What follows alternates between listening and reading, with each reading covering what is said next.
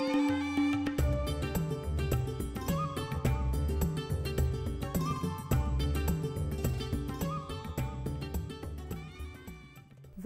to the show of biology.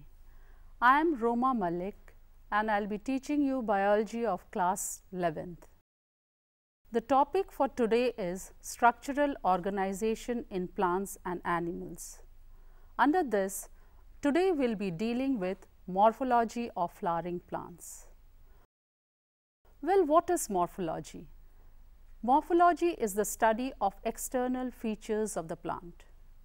In angiosperms, we find a wide variety. Now, these angiosperms, they may be morphologically different. Angiosperms show a wide diversity in their structure. When we say angiosperms, that means the flowering plants.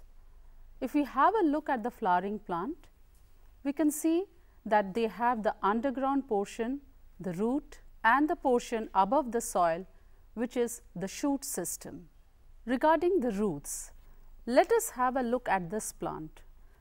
The radicle after the germination of a seed we find the radicle comes out. This radicle actually is the primary root.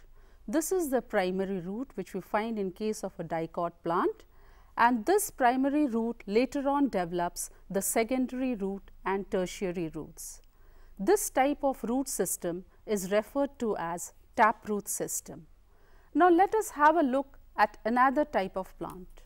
In this plant, we find that the roots they develop from the base of the stem and these types of roots they are generally known as the fibrous root. Beside the taproot and the fibrous root, there is another type of root which is known as the adventitious root, which develops from the plant parts, just as we find in case of sugar cane, in case of banyan tree. The root. Root is actually the direct elongation of the radicle which leads to the formation of primary root. In dicot plants, root is the direct elongation of the radicle which leads to the formation of primary root which bears lateral roots and which is referred to as the secondary and tertiary roots. Regarding the function of roots, they are meant for absorption of water and minerals. They help the plant in anchorage and they are also responsible for the synthesis of plant growth regulators. Regarding the regions of the root, the root is covered at the tip by a root cap.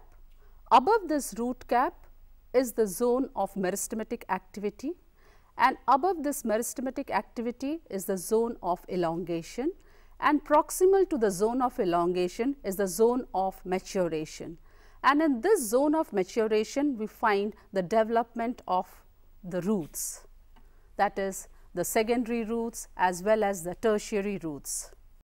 Roots become modified to perform functions other than absorption and conduction of water and minerals. In case of the tap roots of carrots and turnip, we find that they have a solen root because they store food inside it. Beside this, the next is the supporting type of root which is found in the stems of maize and sugarcane. They give support to the plant. There is another type of root which is known as the respiratory root which is found in case of rhizophora. They have the respiratory roots and these roots they develop from below the soil vertically upwards and are meant for the process of respiration. These are also referred to as pneumatophores which is found in case of rhizophora. Well, root is generally known as the descending organ of the plant, the shoot. The shoot is the ascending part of the axis bearing branches, leaves, flowers and fruits. If we have a look at this plant, we can say that this plant or the shoot system has developed from the plumule. The shoot system develops from the plumule of the seed and the root system it develops from the radicle. The shoot bears leaves and these leaves are generally borne in the nodes. These are the nodal regions. Now, in the nodal region where the leaves arises, we also find a bud which is referred to as the axillary bud. The distance between two nodes is known as the internodes and these axillary buds are responsible for branching. This bud which is found at the tip is known as the terminal bud. The stem bears the flowers, the leaves, the buds as well as other organs. Let us have a quick recap of the portions which are found in the stem. It bears nodes and internodes, the leaves are borne in nodes. The portion between two nodes is called the internodes. Presence of terminal and axillary bud. These are certain characteristics which differentiates it from the root system. The functions of the shoot. The shoot helps in the spreading of branches. It conducts water, minerals as well as photosynthates. It is also responsible for the storage of food, support, protection and vegetative propagation. Stem is also modified for various different purposes. For example, in potato, ginger and turmeric, we find that they are modified for the storage of food. In case of cucumber and pumpkin, the stem is modified into tendrils for the purpose of support. In case of citrus and bougainvillea, we find the presence of thorns which are responsible for the defense purposes. The leaf. Leaf is the lateral flattened structure borne on the stem. This is the flattened structure of the leaf which is borne on the stem and is generally attached to the stem by the stalk which is known as petiole. It develops at the node and it bears axillary bud. It originates from shoot apical meristem and are arranged in acropetal order. They are the important vegetative organs for photosynthesis. The leaf is generally made up of three parts, the leaf base, petiole and lamina. Let us have a look at this leaf. The stalk of the leaf is known as the petiole. The green flattened portion, this green flattened portion is known as the leaf blade or lamina. This portion, this outer portion, this is the leaf margin. This portion is known as the leaf tip. We find a centrally placed midrib. This is actually the main vein which branches. This is the main midrib and we find there are other veins by the side of the midrib. These veins they form veinlets and form a reticulate pattern. Venation the arrangement of veins and veinlets in the leaf is known as venation. If we have a look at this leaf, we can see that they have the midrib and the veins and these veins they branch and form the veinlets. It is a network. Such a type of venation is known as reticulate venation which is generally found in most of the dicots. In case of monocots of course, the venation is parallel venation. Let us have a look at this. In this leaf, we find that the venation, that is the veins, they run parallel to each other. Such a type of venation is known as parallel venation. So, I think we can clearly distinguish between a reticulate venation and a parallel venation.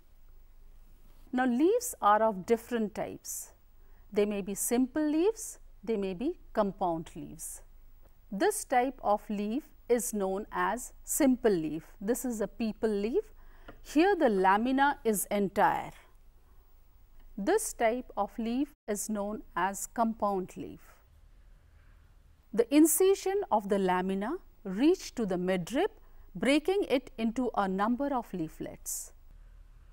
It may be pinnately compound, it may be palmately compound. This is the leaf of neem plant and this is pinnately compound, whereas this plant is palmately compound. Now, the difference between the pinnately compound and the palmately compound. Pinnately compound is found in neem tree where the number of leaflets are present on a common rachis. In a pinnately compound leaf, just as we find in case of neem tree, these are the leaflets and this is the common rachis. Let us have a look at this leaf. This is called palmately compound which is found in case of silk cotton. The leaflets are attached at a common point at the tip of the petiole. If we have a look at this plant, we can see that all of them they arise from a common point. Such a type of leaf is known as palmately compound. The pattern of arrangement of leaves is known as phyllotaxy. Basing on this, the leaves can be categorized as alternate, opposite and whorled. Let us have a look at this plant. This is the stalk of the leaf and each leaf when originates from the node, they alternate with each other. This is originating from here, the second from this side. So, it is alternating. So, such a type of leaf is known as alternate leaves. If we have a look at this leaf, we will see that the leaves they are opposite to each other. This particular stalk of the leaf and this leaf, they arise from the same nodal region. So, such a type of leaf is referred to as opposite. The third is the whorled one.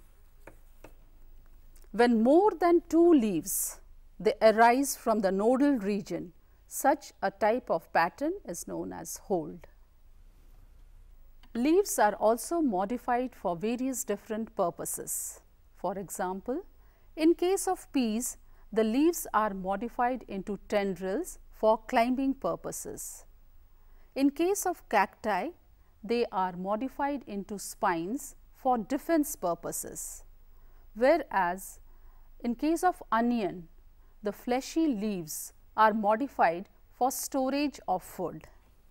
Well students, let us have a quick recap of the portion we studied in this episode we studied about the ascending organ, the shoot system, the descending organ, the root system, the different portions of the root, the different regions of the root, how the roots are modified for various different purposes,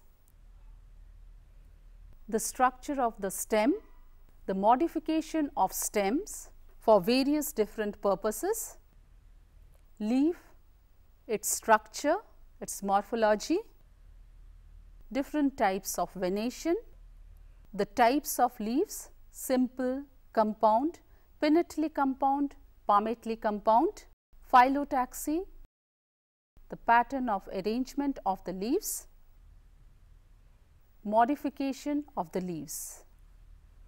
We will be continuing with the other portions of the morphology of flowering plants in the next episode.